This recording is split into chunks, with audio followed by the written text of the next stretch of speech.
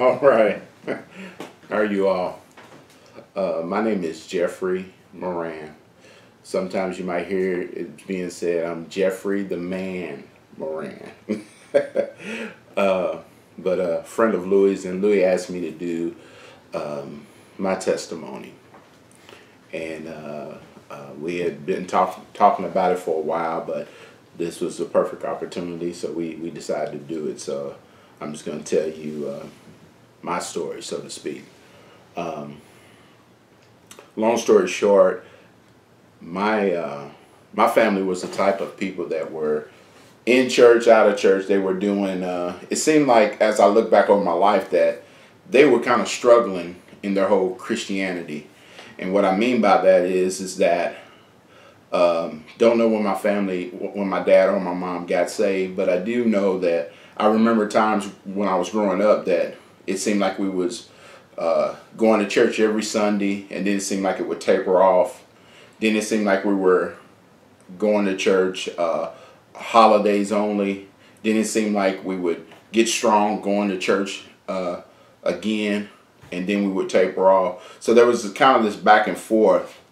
Um, even though I was not a Christian in that time, it did give me a little bit of opportunity to hear uh, the the truth and a little bits of the truth, but either way it goes, it was the truth. And uh, but where I really got um, the seeds of the gospel taught to me was this woman um, that was uh, my best friend's mother, and um, I would go over to my friend's house and my whole intentions was just to get back there and see him. And she, I'd walk in and she would say, "Have a seat," and she would have like TBN on. Imagine that, but she would have TBN on.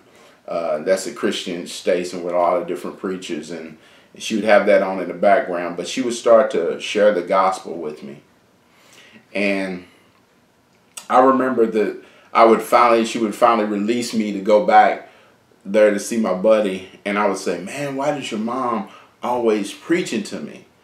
And uh, but she was doing that all the time, and um,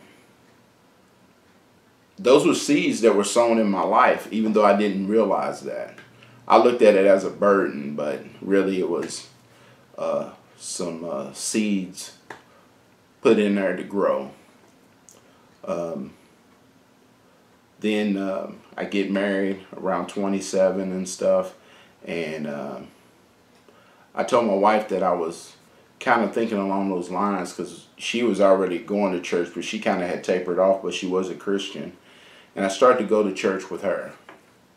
And uh, she was going to a certain church that she had been going to for a little while, and um, I say about maybe a couple of months of going, I decided to go there. But in between that, I was listening to uh, a certain preacher on the radio and well on television, excuse me, and uh, he was constantly talking about the Word of God, and it was so different from what I was used to because I was listening. I was so used to hearing preachers uh, hollering and uh, what they would call hooping and uh, doing all of this stuff, but I started to hear people certain ministers that really taught truth and what I what I felt was truth in regards to how the word was preached. It wasn't a whole bunch of yelling. It was a really teaching, and I really valued that. And uh, so anyway, I, I uh, give my life to, to the Lord at the church that I was going to, and fast. I mean, very fast, for lack of a better word, went through the ranks, so to speak, and uh, became a minister.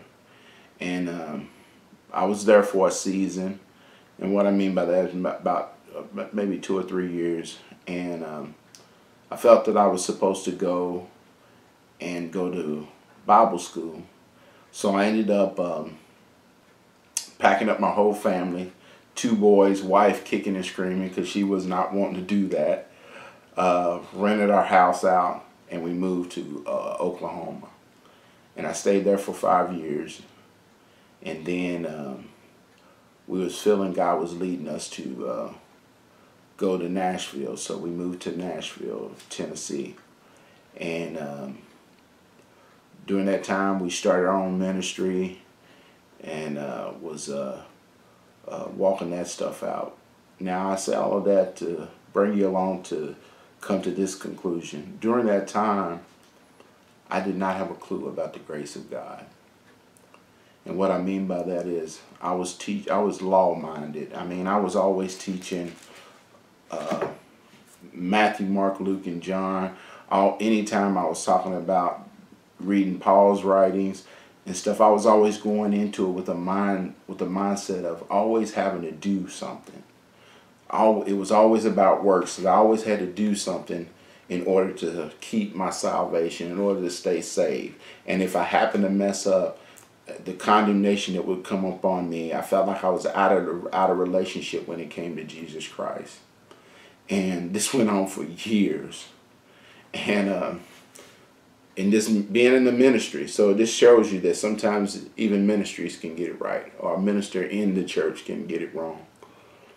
Um, but my, uh, I, I had a friend of mine. I have a friend of mine who just started to talk to me about the grace of God and how we were sealed and that we didn't have to work.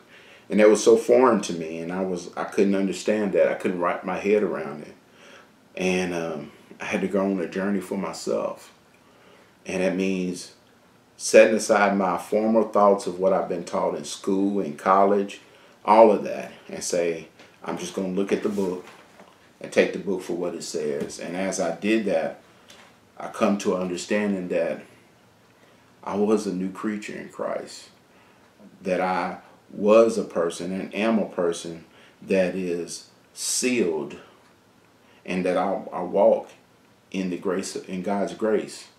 And what I mean by that is is that when he saved me and when he forgave me of my sins, he did that. Me believing that Jesus Christ, believing in the death, burial, and resurrection of Jesus Christ, that was my salvation that was offered to me. Me believing in that that had taken place and me trusting that. And with me trusting that and believing that, I'm sealed, I'm saved. And when I understood that, then I truly understood what is said in Galatians chapter 6, verse 15, where he says, For in Christ Jesus, neither circumcision, and if you wanted to, you could even say law, for neither law availeth anything, nor uncircumcision, but a new creature. I am a new creature in Christ. And uh, I'm so thankful for that. I'm so thankful that I, I finally understand that I don't have to work to, um, to um, have God think better of me because that's what I thought. I thought if I did all of this stuff that that was going to change his opinion of me. And God already had an opinion of me. When I accepted him, he welcomed me into the body. And he said, hey, you're in. And with, with me having that understanding, it really changed my whole outlook. So see, I didn't work to be good anymore because I understood that I was already righteous in Christ. I didn't work to do all of these things. I do good now because of me just being thankful for what he's done for me. I don't do it to try to be good to win uh, uh, his affections towards me. He already has affections towards me. He, he loves me so much. He cares for me so much. And I don't have to do a whole bunch of stuff in order to win that love that he already has for me. What he tells me to do now is to share that gospel truth of the death, burial, resurrection. That's my job now is to share that. And when I share that, I'm just I'm supposed to just let people understand that, get them to understand that that uh, through the death, burial, resurrection of Jesus Christ, that you can have salvation. You can live in the heavenlies with Jesus. I hope that people have an understanding of that because even even believers who may may be watching this, listen. If you're trying to do works, then I, you need to really check your salvation. You really need to check to see because Jesus paid it all. He paid for that sin.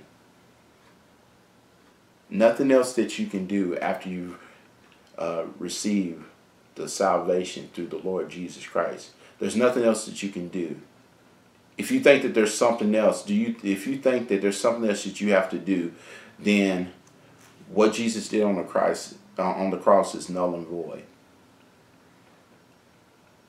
All I can tell you is that man, I live life in a whole different way. I'm not sitting up here trying to keep a whole bunch of rules. Yes, I do read my Bible. Yes, I do study my Bible. But what now when I study it, I study it in regards to having an understanding of who he is and what he's done for me and who he is inside of me. Everything that he's done inside of me. So see, I, then I learn as what in the book of Galatians, if you read that, walking in the Spirit is all about. I get that understanding of who he is and all of this other stuff tends to disappear. Does it mean that temptation won't come back? Yeah, it'll come back. But now, man, it's totally different. Totally different. Because I know who my deliverer is. And I know that I can sit up there and look in look the devil in his face and be like, he's already paid for that. He's already paid for that. Anything that he tries to throw up, he's already paid the price for that. I'm forgiven for that. I'm forgiven for that. Even when people are trying to bring up your old life, you can still say, He paid for that. He's forgiven me from that. And your life starts to change, and you don't do those things that you used to do.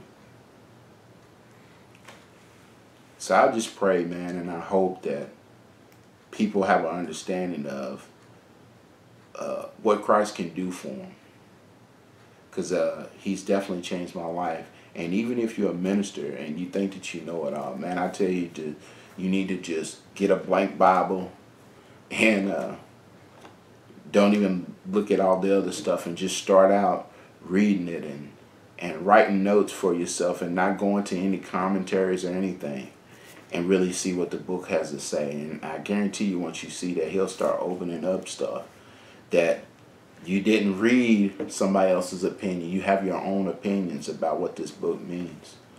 And this, be, this book becomes so valuable to you. But I pray that I said something that was uh, a blessing to you.